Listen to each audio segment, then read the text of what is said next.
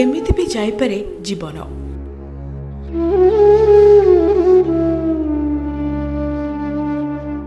ଆଜି ସନ୍ଧ୍ୟାରେ ଲୁଚକାଳି ଖେଳରେ ଲୁଚା ଛପା ଭିତରେ ସବୁଦିନ ପାଇଁ ଲୁଚି ଯାଇଛି ବାର ବର୍ଷର ନିରୀହ ନିଷ୍ପାପ ଶିଶୁ ବିଭୁ ପରିହାର।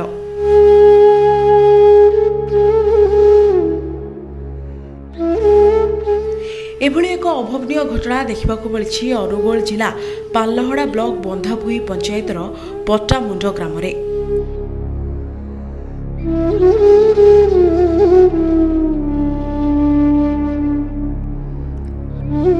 ବନ୍ଧାଭୁଇ ଗ୍ରାମର ପ୍ରଫୁଲ୍ଲ ପରିହାରଙ୍କ ସ୍ଥାନ ପୁଅ ବିଭୁ।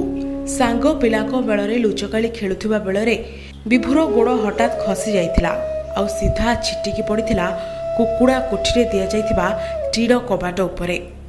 ଧାରୁଆ ଟିଣ କବାଟରେ କଟିଯାଇଥିଲା ବିଭୁର ବେକ।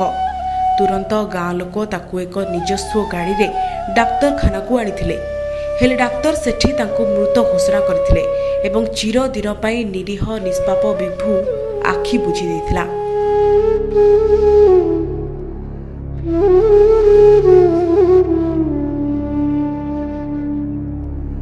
ବିଭୁର ଏଭଳି ଏକ ଦୁର୍ଭାଗ୍ୟଜନକ ଘଟଣାକୁ ସହଜରେ ବିଶ୍ୱାସ କରିପାରୁନାହାନ୍ତି ପରିବାର ଲୋକେ ଏବଂ ସମଗ୍ର ଅଞ୍ଚଳରେ ଶୋକର ଛାୟା ଖେଳିଯାଇଛି।